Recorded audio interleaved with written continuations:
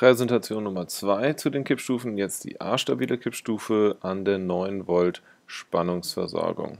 Hier haben wir den Aufbau, wir haben den Widerstand R1, den Widerstand RB2, den Widerstand RB, äh, RB1 und RB2, hier den Widerstand R2, zwei LEDs, die jeweils den Vorwiderstand R1 und R2 haben, Kondensator 1 und Kondensator 2, beides sind Elektrolytkondensatoren in dem Fall hier, ähm, dann den Transistor 1 und Transistor 2. Gut, erster Schritt, aufgrund von Bauteiltoleranzen schaltet zuerst der Transistor 1 durch. Die ähm, Kollektor-Emitter-Strecke von T1 ist äh, dadurch niederohmig und nur 0,2 Volt Sättigungsspannung fallen hier ab. Dadurch fällt die meiste Spannung eben hier an äh, Widerstand R1 und LED 1 ab und die LED kann leuchten. Der Kondensator 1 und die Basis-Emitter-Strecke von Transistor 2 sind parallel geschaltet. Ähm, Kondensator 1 lädt sich eben langsam von rechts nach links auf und durch den RB1 hier. Und ähm, der parallel geschaltete äh, Basis-Emitter-Strecke ergibt sich noch nicht genug Spannung und er sperrt eben.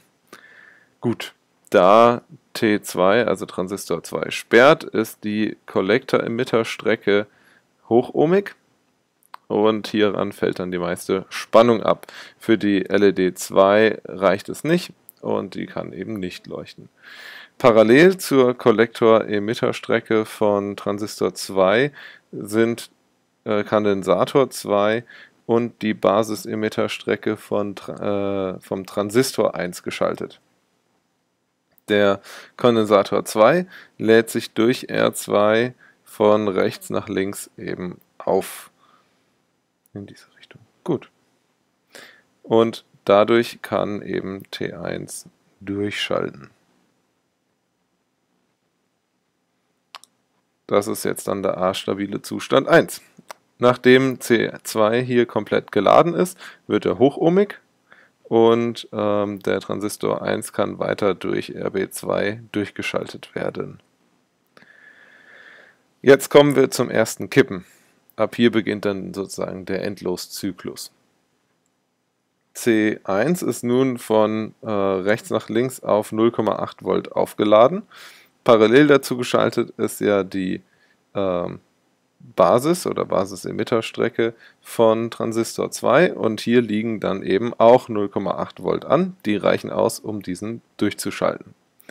T2 schaltet also durch und jetzt kippt sozusagen die Schaltung. Jetzt kommt A-stabiler Zustand 2.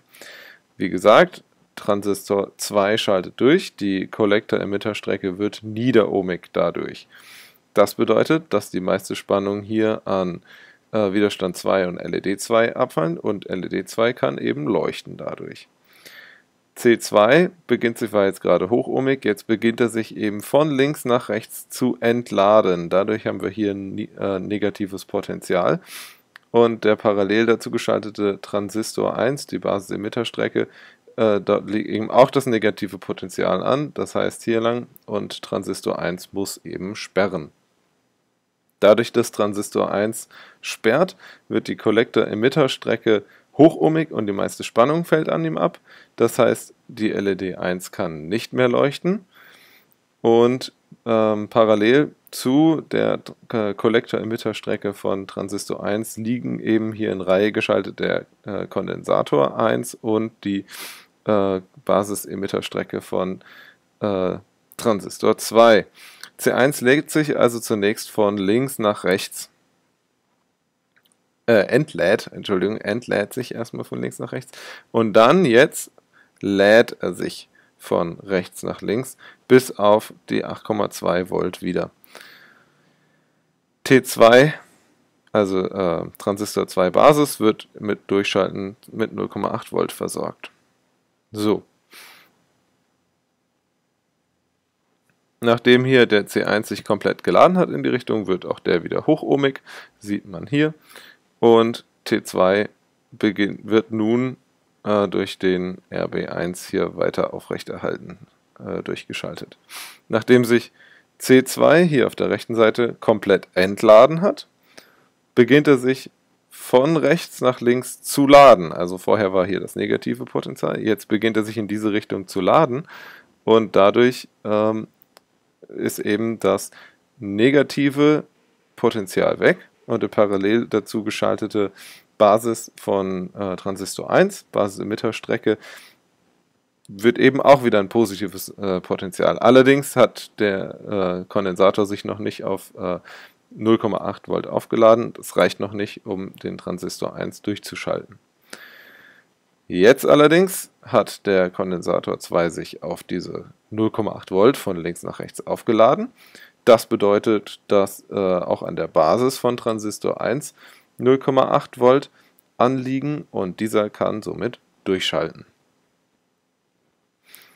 Jetzt schaltet Transistor 1 durch wieder mal. Dadurch wird wieder die äh, Kollektor-Emitter-Strecke von Transistor 1 niederohmig. Das bedeutet, dass die meiste Spannung wieder hier oben abfällt und ähm, die LED 1 eben leuchten kann. Der Kondensator 1 beginnt sich von rechts nach links zu entladen. Parallel dazu, das heißt, wir haben hier das negative Potential. Parallel geschaltet ist die Basis-Emitter-Strecke von Transistor 2, die entsprechend auch mit, an, mit dem negativen Potential anliegt. Und Transistor 2 muss eben sperren. Da Transistor 2 sperrt, wird die Kollektor-Emitter-Strecke äh, hochohmig und die meiste Spannung fällt hier ab. Dadurch kann LED 2 und Widerstand 1 nicht mehr leuchten, weil eben die meiste Spannung hier unten abfällt und nicht mehr hier oben.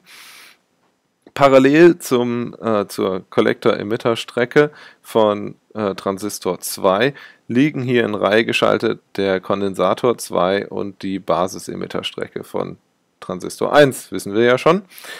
Dieser entlädt sich also zunächst von rechts nach links. Entlädt wohl bemerkt.